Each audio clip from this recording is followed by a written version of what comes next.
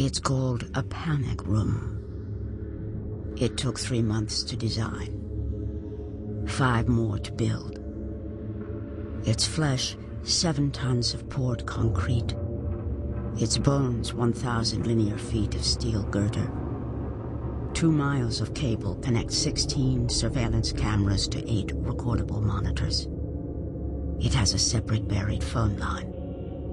Its only door is reinforced steel, secured by solid core deadbolts and a motion-sensitive closing system.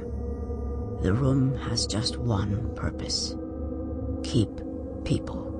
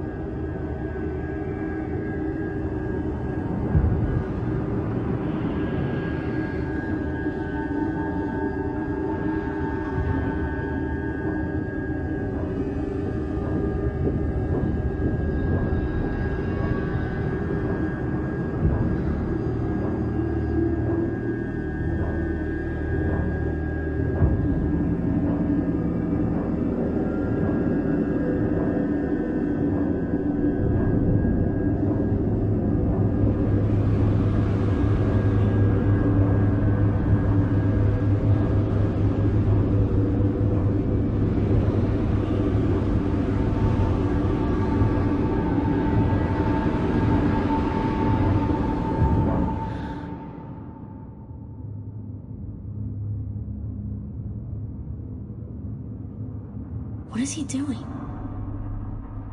They're locking us in.